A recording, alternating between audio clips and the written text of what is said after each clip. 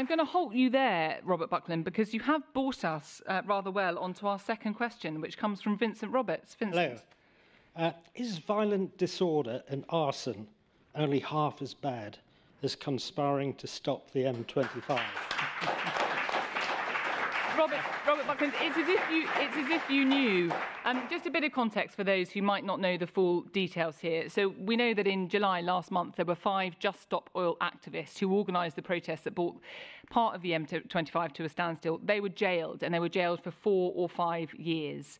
And you were clearly, Vincent, comparing that to some of the sentence that we've seen initially handed down to some of those who took part in this violent disorder. So Vincent asks, is that only half as bad as conspiring to stop the M25? Robert Buckland. Well, well, first of all, Vincent, what you've got to remember is that the Just Stop Oil uh, case was after a trial where the defendants exercised, exercised their right to contest the allegations and had a full trial.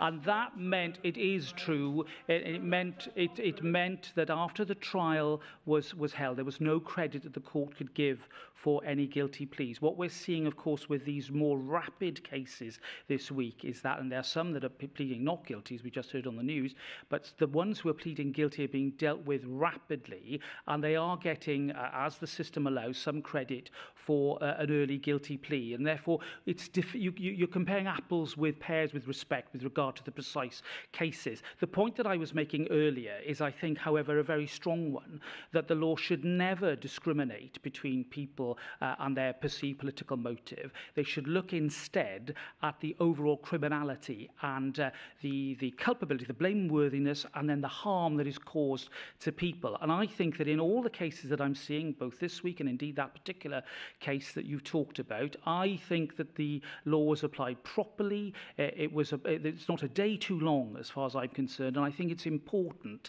that we don't make that sort of discrimination uh, between perceived political viewpoints. Okay. Uh, Vicky Spratt, do you agree with that?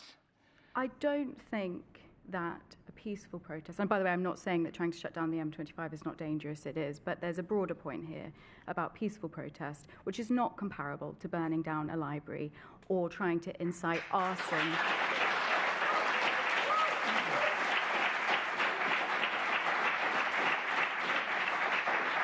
or trying to incite arson on a hotel that is housing asylum seekers, which could cause loss of life. Shutting down the M25 could also cause loss of life. But I think we have to be really clear about what we've seen in the last two weeks.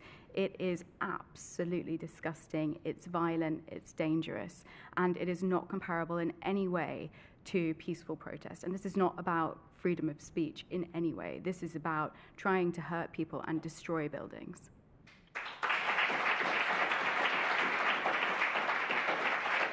I mean, clearly there are always going to be specific circumstances in any two court cases or trials that make a very direct comparison difficult. But given the context, the framework that Vincent set out in his question, Dan Norris, what do you think? Well, look, I, I trained, as you mentioned, uh, I was trained by the NSPCC in child protection. I've seen some of the worst criminals that there absolutely are. And let me tell you that crimes like arson are deeply serious and, and, and you know, wholly unacceptable in any society. But there is no comparison to what the protesters were doing on that motorway, I have to say. Uh, I think they were punished far too severely. I'm with Charlie Falconer on this. Um, now, I, I perfectly understand the huge irritation and distress that was caused by some of those actions, how it put people out. It is hugely annoying. Uh, I would share that annoyance if I'd have been delayed as well. But what I do think is we have to recognize sometimes that people make principled peaceful process, protests, even if it's very annoying the impact that they cause on others. And if you are like me, you believe the uh, evidence is overwhelming that there is a climate emergency. And if we don't act very, very quickly, and maybe it's already too late, if we don't act, then we are going to be in real trouble and the consequences will make even arson and other crimes seem like nothing. So, no, I, have got to come in here. Okay. I, so we, we, we do need to think and revisit this and get a proper proportion on it. Robert Buckland, I, you wanted to come back. I, I do, and I respect Dan in many ways, but I'm a bit surprised to hear that uh, bearing in mind the full extent of actually what happened with the Just Stop Oil case. It wasn't just inconvenience. There were life-changing things that happened to people as a result. Oh, it is true. It's what the judge, I've read the sentencing remarks. The judge heard the evidence and they are in the best position to make these comments. I think we've still got to come back to this point. But Robert, Any Robert, what I'd Dan, say is- Dan, I'm not saying that you're trying Yeah. to excuse anything, but Certainly I not. do think it's really important that as politicians, we absolutely take great care before we start questioning individual cases and sentences. Uh, you, you know this and you respect, I know you respect the system, but I think when we start to make these sort of moral differentiations, we start to get into trouble. Nobody in this audience is saying that uh, threats of arson and threats to people's lives is any way other than the most serious and grave of crimes. Of course it is.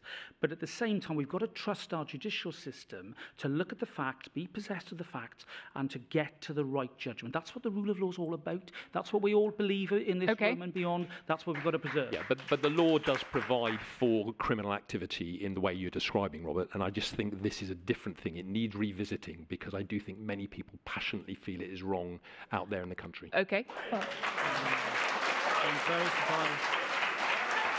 Very surprised to hear that.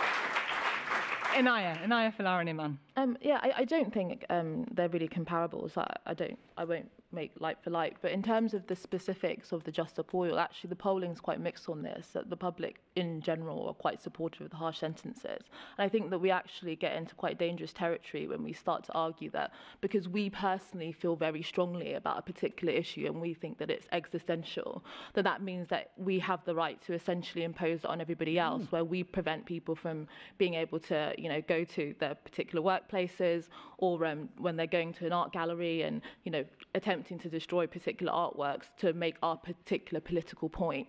So I think that it's important to draw the line somewhere where we don't get into a situation where every time we're very we think very strongly about something that means that everybody else must have their life prevented in order to get that um, issue at the top of the agenda and just again specifically on your point actually i think there's quite broad consensus politically that climate change is a significant issue that needs urgent action. We may well end up talking about it.